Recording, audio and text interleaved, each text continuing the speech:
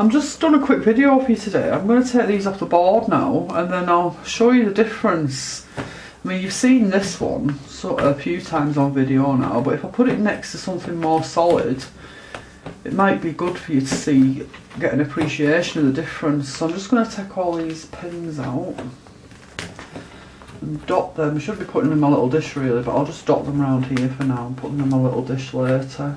I'm trying to do it quite quickly as well because I don't want this to go on forever. So unpin, unpin, unpin, unpin. And I will try and get some pictures because the sun has just come out so I might be lucky.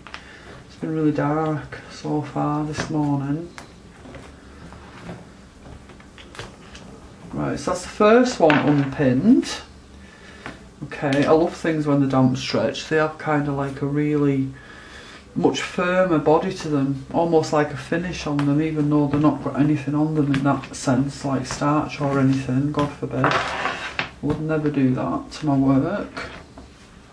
And maybe I should have unpinned these first, but it's not going to take me long. Oh, one's popped out, ready for somebody to stand on later. Take these out.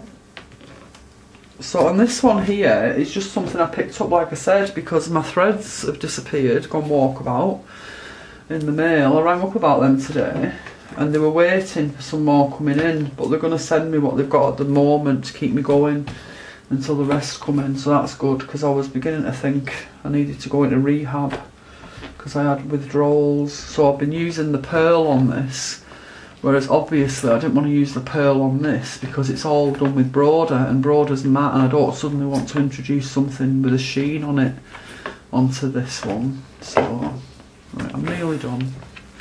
Sorry about this. Don't know why I didn't do this first. Because that would have been too logical.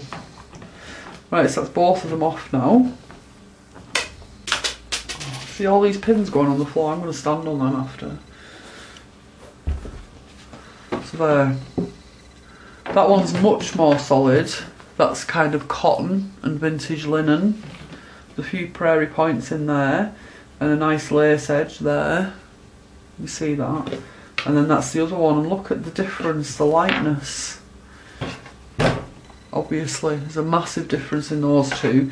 So it's quite, not strange, but it's a nice contrast to work on this. That's so light and delicate and quite fiddly in a way to work on because there's not a lot of surface going on to get a base for anything. Then to move on to something like this that's quite solid and thick and your fingers get a bit of a shock at first and you put your needle, oh that hurt, you know, that won't go through there very easy. Whereas if you imagine putting a needle through there, it's like goes through that like butter. So this isn't part of my cloth, this is a piece that I'm embellishing um, and I'm going to cut this up to add bits of it to my bigger cloth.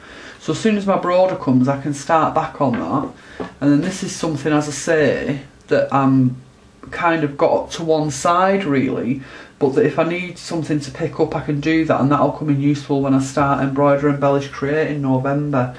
So that's just the two contrasting pieces of work now lifted off the board. And as I said I'll try and take a photograph